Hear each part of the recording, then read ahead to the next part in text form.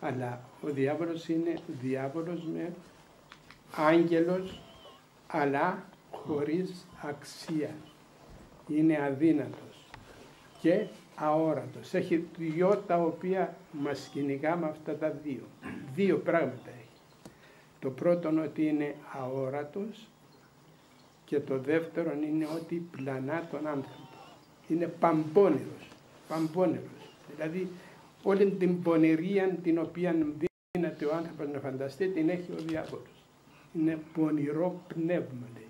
Γι' αυτό θέλησε να ανέβει πάνω από το θρόνο του Θεού και έπεσε λέγει ως αστραπή εκ του ουρανού.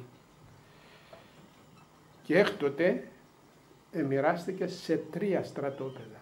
Έναν μεταξύ ουρανού και αέρος, δεύτερον επί της γης και τρίτον στην κόλαση.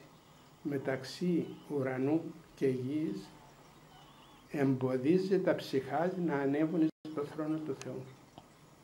Αν έχετε προσέξει εκείνη την ωραιοτά την παράσταση του Ιωάννου της Κλίμακος, θα δείτε ότι αναβαίνουν οι ψυχές και εκείνοι τα στραφούν κάτω.